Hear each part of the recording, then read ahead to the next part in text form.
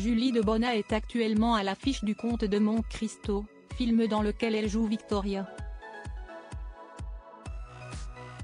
L'actrice qui enchaîne les rôles a brièvement évoqué sa vie privée avec nos confrères de Paris Match à qui elle a accordé une interview. Elle a d'ailleurs confié une anecdote amusante au sujet du père de son fils de 6 ans.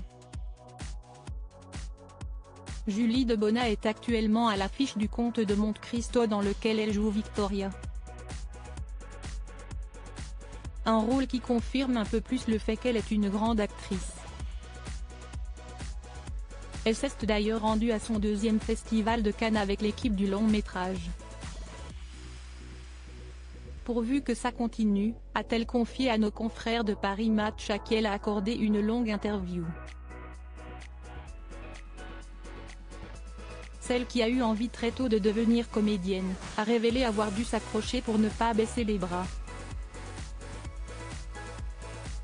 Montée très jeune sur scène, à l'âge de 7 ans, Julie de Bona a connu la difficulté de vivre avec le trac. Aucun mot ne sortait de ma bouche. L'horreur. J'étais beaucoup trop timide, a-t-elle avoué. Maman d'un petit garçon, ce dernier semble suivre ses traces. À bientôt 6 ans, il fait déjà la fierté de l'actrice qui a récemment découvert ses talents lors d'une représentation de sa progéniture au centre aéré. En couple depuis plusieurs années, Julie de Bona préfère préserver cette partie de sa vie. Nos confrères soulignent que la comédienne protège son foyer comme une mère louve. Un euphémisme pour celle qui garde secrète l'identité de son compagnon, et père de son fils, qui n'est pas du milieu. Un secret bien gardé, tellement qu'il arrive parfois au mari de se retrouver en présence de personnes commentant les faits et gestes de son actrice de femme sans savoir qu'elles sont face à celui qui partage sa vie, écrit Paris Match. En 2020, elle s'était confiée à nos confrères de télé 7 jours au sujet de son amoureux, alors qu'elle avait joué avec Agustine Galliana dans Ils ont échangé mon enfant, ou encore avec Tomer Sisley dans Coup de foudre à Noël. Julie de Bona a assuré que même si ses acteurs sont des beaux gosses, ils n'étaient pas à la hauteur de son mari. Si est lui le plus sexy?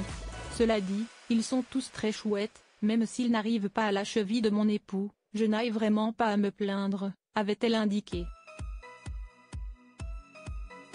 Julie de Bona, une actrice engagée hyperactive, Julie de Bona enchaîne les projets depuis qu'elle a connu la consécration en 2019 en intégrant le casting du Bazar de la Charité.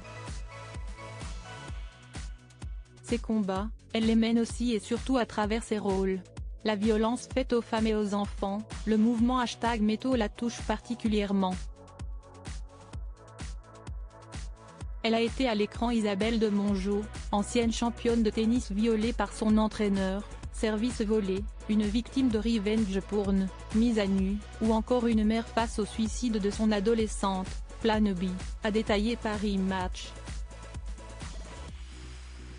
sur son rôle dans le conte de Monte Cristo où elle interprète une femme qui a la soixantaine alors qu'un nain n'a que 43, elle a confié, c'était à la fois angoissant et intéressant de voir comment mon visage allait se transformer. Si est-il encore un combat de femme que d'accepter la vieillesse? Il y a une bataille à mener, j'espère faire partie du mouvement, être une actrice qui bosse autant à 50 et à 60 ans et représenter les femmes de cet âge. Elles sont nombreuses et actives, mais on les invisibilise. Une actrice engagée,